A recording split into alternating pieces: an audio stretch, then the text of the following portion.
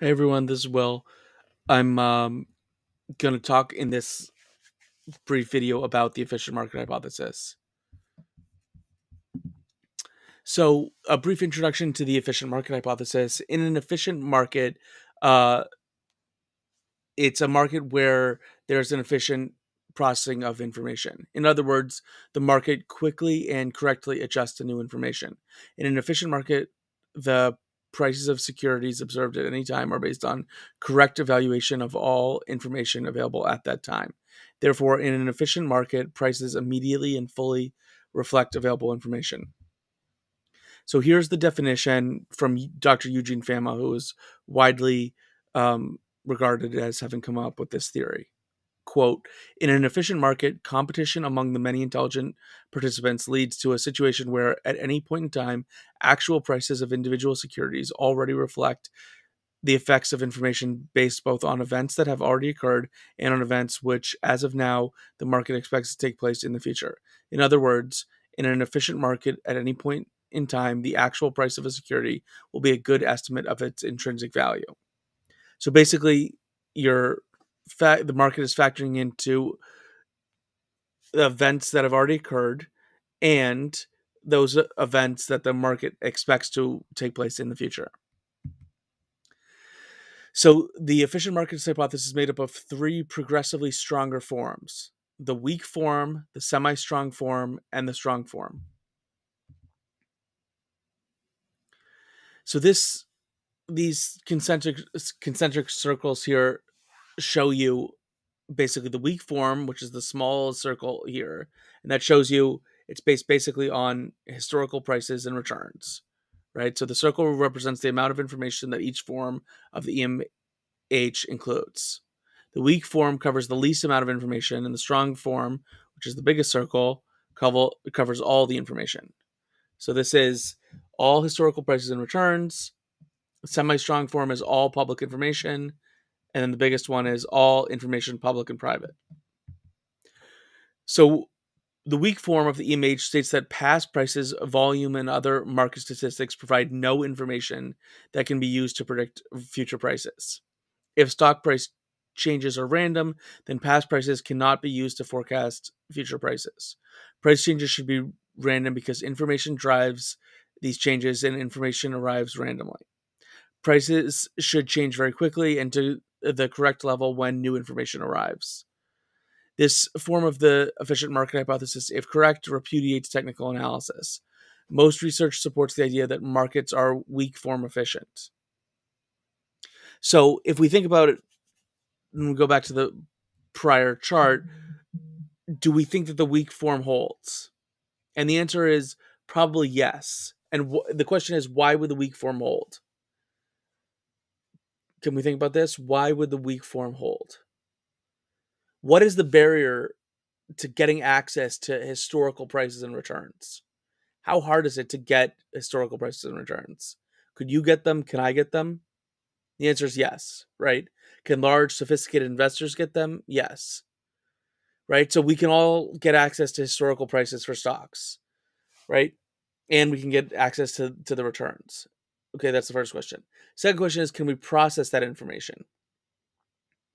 The answer is yes, right? You can put it in, in an Excel doc, you can you can process it. You can calculate the returns, you can look at the changes in the returns, you can look at um, you know, various different technical analysis and you can try and predict what will be future returns based on past returns, right? And so if you can collect the information for basically free and if you can predict if you can look at do you process the information for free then there's really no barrier right? There's no limitation to the arbitrage right? There's no nothing keeping you from accessing the information there's nothing keeping you from processing. Therefore there's no quote unquote limit to arbitrage all right? So that's why weak form right of the efficient market hypothesis is probably true. There's nothing keeping investors from predicting future prices with past prices and volume all right now let's look at this semi-strong form it says prices fully reflect all publicly available information and expectations about the future This suggests that prices adjust very rapidly to new information and that old information cannot be used to earn superior returns. The semi strong form, if correct, repudiates fundamental analysis. Most studies find that markets are reasonably efficient in this sense, but the evidence is somewhat mixed. So, what do we think about this? Is there anything that keeps you and I from getting access to all publicly available information uh, about firms? The answer is definitely yes, right? You and I can get past returns, we can get past prices, but we cannot get all publicly informa- available information about firms, right? You and I cannot know every single car that's in every single Target parking lot. It's publicly available, but we can't get all that information. We cannot know, for example, like what the satellite images are of every Wendy's drive through at all hours of our day. That's publicly available, likely, but we can't get access to all of that information. Right. And even if we could, even if we had like an image of every single Wendy's drive through, we would not be able to, or it would be difficult to process all of that data. Right. Similarly, even if we had a picture of every Target parking lot 24 hours a day, it might be difficult for us to process all of that information and know what to make of it, right? Well, if we know eh, lots of people are driving, you know, in Target, we don't know what they're buying inside, right?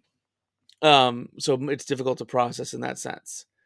Um, and so, therefore, all publicly available information is a difficult to collect, and b difficult to process and therefore it's not going to be factored into prices. That's the first thing. The second thing is if we know all the information that's if we know all the like all the information that's factored into Target's price, that probably says something about Target's main suppliers, right? If if lots and lots of people are going to Target, does that say anything about what's going to happen to Target's main suppliers, let's say um I don't know, LG refrigerators, right? If lots of people are going into Target, does that will that tell us anything about whether or not people are buying, you know, refrigerators from LG? Target sells refrigerators. Um we're not sure. So semi-strong form. You know most studies find that markets are reasonably efficient in the sense but the evidence is somewhat mixed right? Not i don't think all publicly available information is in prices and the reason for that is it's difficult to collect all publicly available information and it's difficult to price it in or it's difficult to process it as well. And then finally the strong form. The strong form says that prices fully reflect all information whether publicly available or not. Even the knowledge of material non-public information cannot be used to earn superior results most studies have found that the markets are not efficient in this sense. What do we think of this? Do we think that prices fully reflect all public and private information? So if the CEO knows something, you know, he's the CEO has decided that he's going to buy a, you know, he's going to acquire a company for $10 billion in a month. Do we think that the and he's he's he's going to pay a 50% premium uh, over the the current uh, market price of the firm. Do we think that the current market price, the second the CEO decides that, does we think that the market price of the target goes up by 50%? No, right? That doesn't seem likely. Why? Well, first of all, we have this country has insider trading laws. So that would be material non-public information, right? There would be tipper, there's what's called tipper and tippee liability. So whoever traded on that material non-public information, the second they found out would have potentially criminal liability.